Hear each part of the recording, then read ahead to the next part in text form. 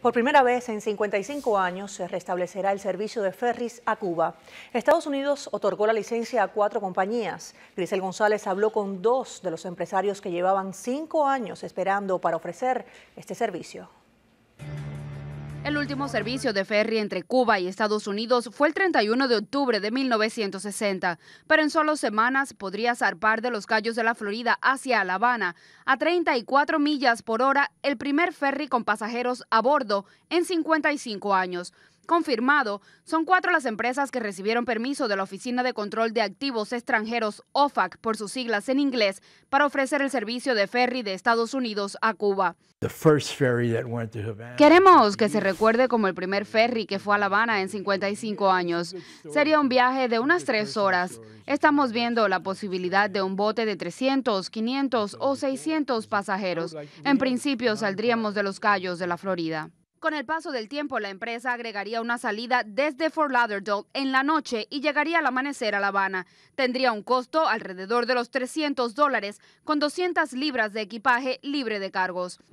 Oscar Ruano, director ejecutivo de Baja Ferry USA en Miami, empresa que opera ferries de carga a Cuba desde el 2003, dijo a Martín Noticias que desde el 2005 se preparaban para este momento. Ofrecerá un servicio de ferry con alternativa de entretenimiento propio de lo que eran los viajes de ferries a Cuba en los años 50.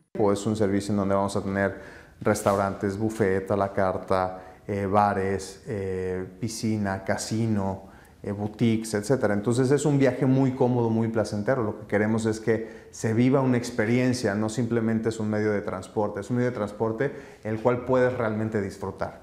Entonces estamos en un inicio planteando un barco eh, con una capacidad de alrededor de 2.000 pasajeros con 500 habitaciones. Baja Ferry USA saldría del puerto de Miami y del puerto Everglades hacia Cuba tres veces a la semana a un costo de 250 dólares ida y vuelta, con las primeras 200 libras de equipaje libre de cargos.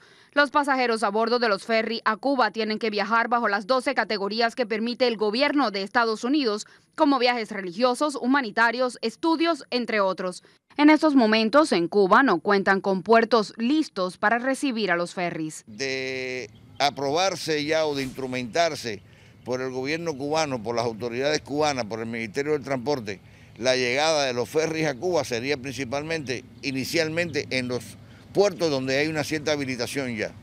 Porque la realidad es que no hay puertos de ferries preparados que yo conozca, no hay instalaciones para ferries preparadas en el país. Grisel González, Martín Noticias. Y desde Puerto Rico también saldrá un ferry hacia Cuba en los próximos meses. La naviera America Cruise Ferries, con sede en San Juan, obtuvo la licencia de OFAC para operar los viajes a la isla.